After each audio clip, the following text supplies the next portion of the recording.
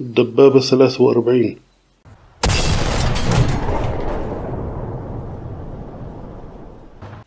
نموذج تجريبي لدبابة سوفيتية متوسطة.